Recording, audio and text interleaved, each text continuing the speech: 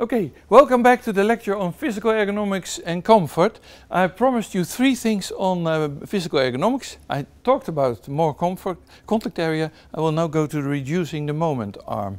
Here you see a person lifting. Uh,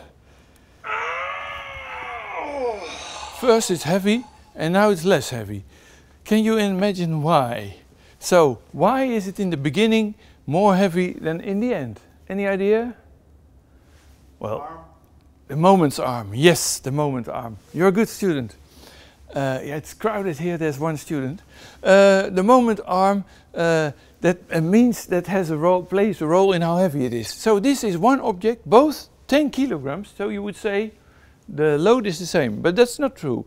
No, that's because here the moment arm uh, between your uh, spine and the middle of the object is 25 centimeters and here the moment arm between the spine and the middle of the object is 40 centimeters. And that has a consequence.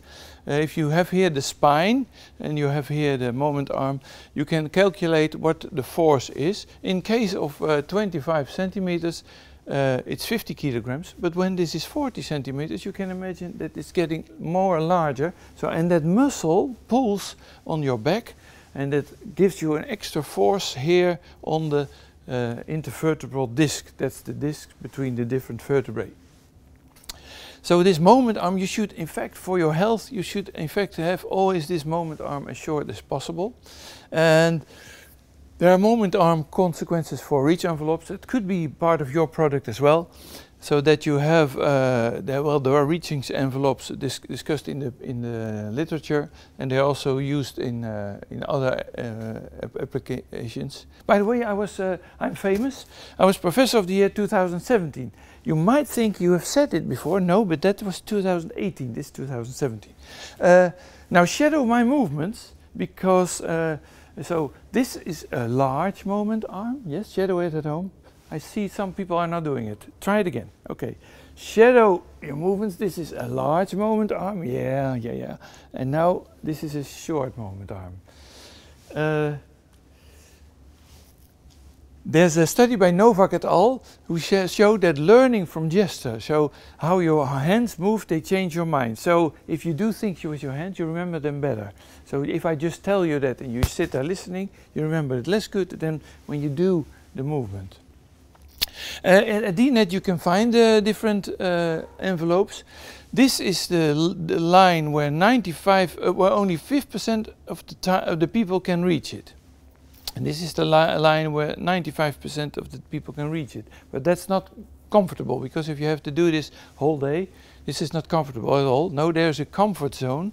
So this can be uh, is comfortable by 5% uh, and this is, this is comfortable 95%. So you should stay close to the body that is also shown in DINED. You can find this on DINED. and if you apply this to, a, for instance, to a product, in this case we had to develop an earth moving machine together with a German firm Paus GmbH, they make these machines. And one of the difficulties we found out with people is that at a certain point they get problems with the shoulder because they have to ha uh, have the the steering wheel in that way. And they also had difficulties in getting in and out. So we thought, let's make the steering wheel closer, but then you can't get in and out. So there, there's a, an optimum we had to look for. So we had a session, we made a drawing of the new interior. We let a person sit in there, so you mixed the, the picture with the person. You do this by uh, blue screen technology. The weatherman uses the same you, you put the person in front of a blue screen and you mix it with a, a picture of, the, of your computer. And there were in the meeting there were was a designer, of course, sketching the ideas, so uh, sometimes changing things. There was a group of operators there. Uh, one operator was sitting in there, and the others were looking at it. And uh, there was an engineer. He checked the manufacturability. This group uh, had a session uh, how to improve this. And out of the session, uh, they came an adjustable steering column. So it's in the front, and then you can easily go in, and then you bring it to the position which is close to you so that it's comfortable. But it was not only this part, also the, the, the operators, that's good that they were in the session, said, well, the, the joystick is also not ideal, it's too far ahead. It's not within the comfortable uh, uh, zone. So what we made, we put the, the joystick more backwards. Then the designer said, oh, that's not good because he can't see it. And then all the operators said, I never look at my uh, joystick. So that's good that you do it in a participatory design. And then we could find an ideal joystick position. So this is an example how you uh, use envelopes to design. It's, this is another case where we used envelopes. It's applied to Philips. Uh, in Philips, people sit, uh, make shavers, and they do the whole day this type of work, which is uh, repetitive, and you see the people get complaints in the long run. But what you also see, the people have to reach a lot. So what we did together with the operators and the ergonomists and designers, we made a new uh, situation. This is the old situation where people have to, uh, this was the old situation where people have to reach and then we brought the parts closer to the person uh, and the legs are now under it. So that means in the new situation uh, the people had to reach less. And then we again tested in the whole production line where we could use it. And what you see what the maximum work pace was, so that's the, the, the number of products you could do, it was 10.4 per minute in the new situation and 9.4 in the old situation, which is drastically improved.